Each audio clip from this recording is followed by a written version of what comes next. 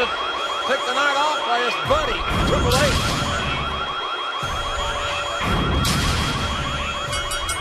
The following contest is scheduled for one fall, and it is for the World Wrestling Federation Hardcore Championship.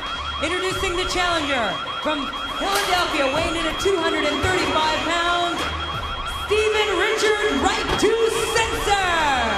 I just think that you're happy that someone did what you weren't man enough to do, and that's put their hands on Stone Cold Steve Austin. That's a bright statement,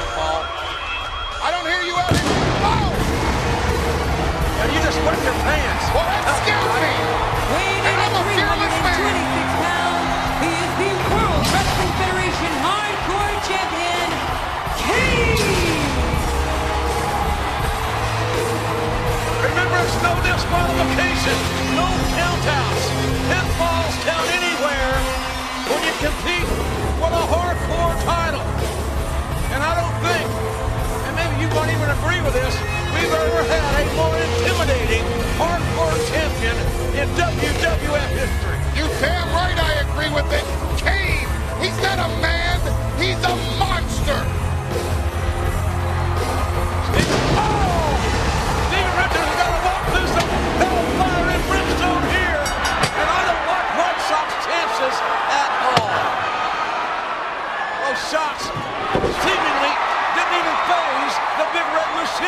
That's what happens when you're six foot ten, when you weigh well over 300 pounds, and quite obviously when you're impervious to pain.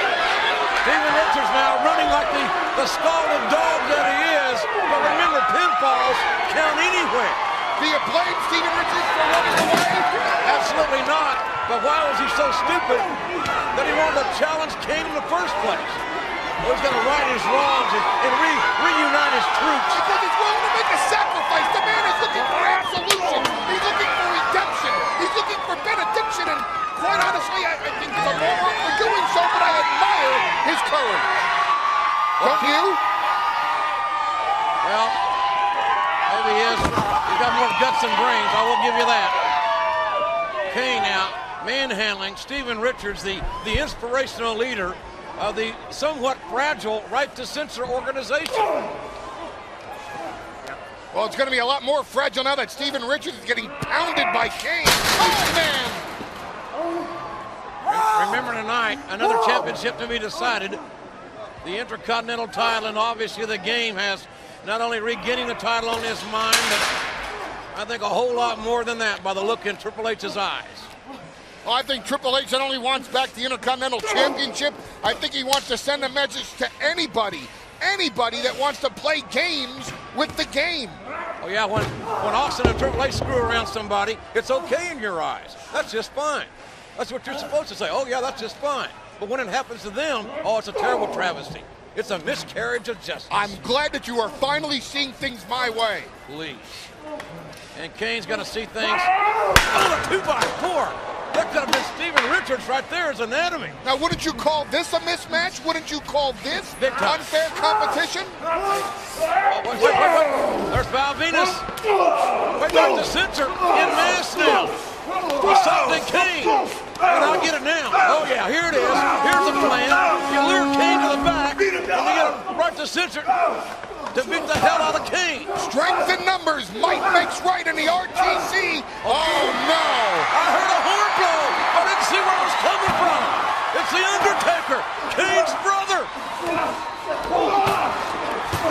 And Venis has picked up.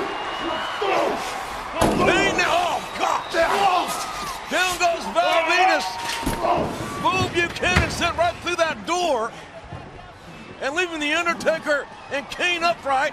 And look at Steven Richards is trying to run away. He's trying to escape from the big red machine. Uh-oh. Oh! Steven Richards' head just dented that, that tractor trailer. Two, three. That's it. Here is your winner